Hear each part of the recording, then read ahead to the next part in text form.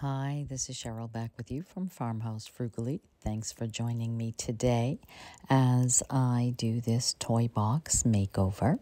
This is the old fabric that was on the top of this. It had a really nice black backing, so I wanted to keep that. Um, so as we deconstructed this, we took the pieces and parts that were in good shape and then I found a nice piece of fabric and ironed it and removed the old fabric but kept the rest because it was in really great shape and pulled out my IOD Whispering Willow transfer. You may remember I had used a bunch of this on a dresser that I will show you at the end and these are the parts that I had left over and I wanted to go ahead and use some of these on the top of this toy box so that it would match the dresser that I had done for my granddaughter.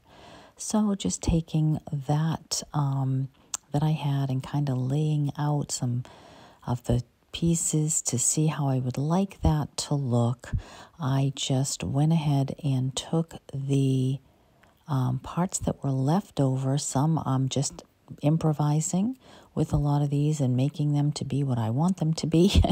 um, and so you've seen people use these before. It's a little more difficult on fabric.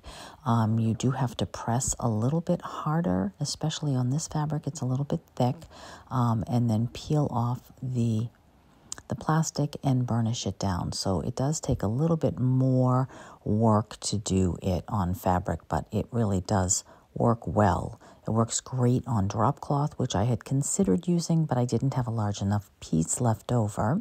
I am taking the fox as my central figure on the um, the picture, I guess you would say, that I'm creating.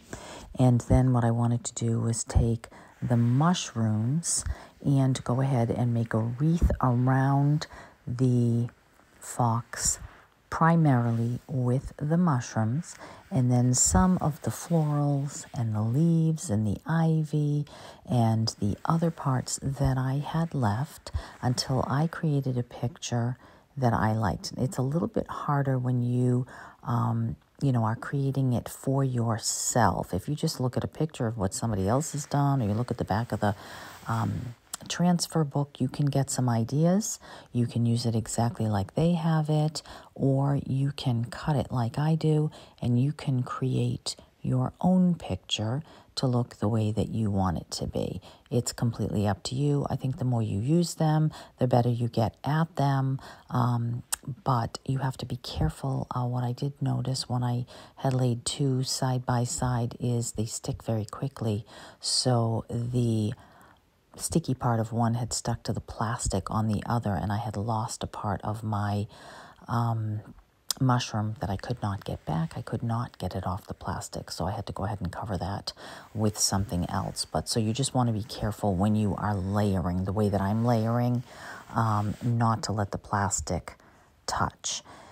Now, once you get the basic shape, then filling in the rest, what I did was I took some of the florals that I had left, left over and I just began to cut pieces off of them um, to be able to give me more of those colors um, on the leaves and spread that out across what I'm considering more or less a wreath.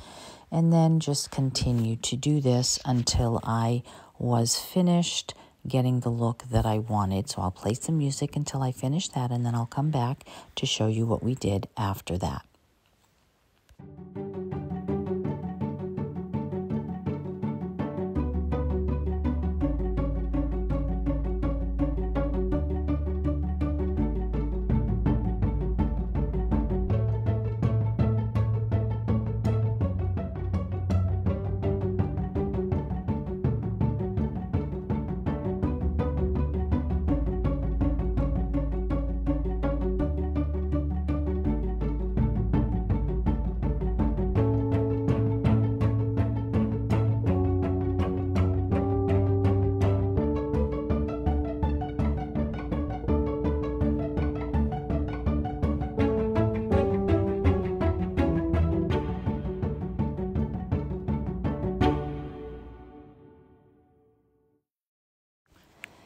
Now, once we were completely finished here with that design, I did take that uh, top of the toy chest and kept the um, batting. That was an excellent shape.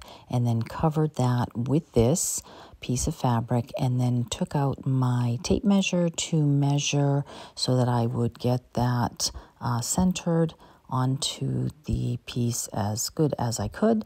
And then I needed my husband's help to help me to staple this on. If you ever do upholster a good size uh, piece, it is nice to have extra set of hands so that you can pull the fabric nice and taut while somebody else is stapling.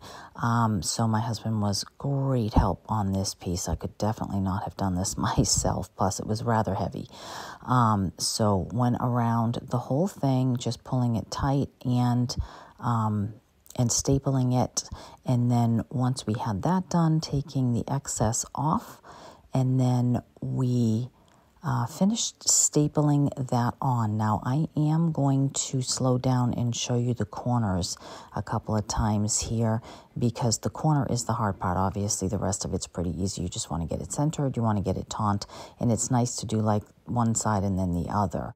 The middle of the corner, watch how I do this, middle, left, right, and that way you don't need a whole lot of staples, one or two staples, and it is done.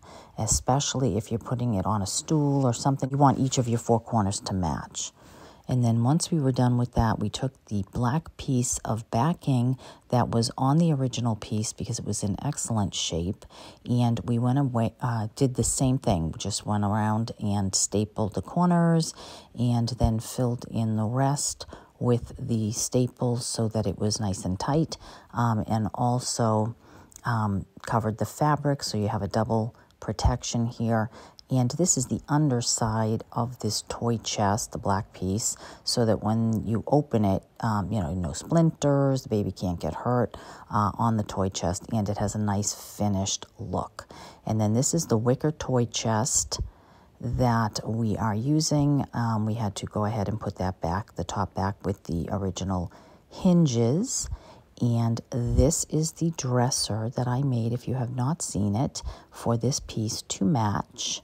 And I think that it is going to be adorable in my granddaughter's nursery. I will attach the full video of the dresser in the description. And then here is the toy chest to go in that nursery with it. So let me know what you think and if this gives you any ideas of using transfers in a little bit of a different way than usual. And I appreciate your hitting like or share and commenting.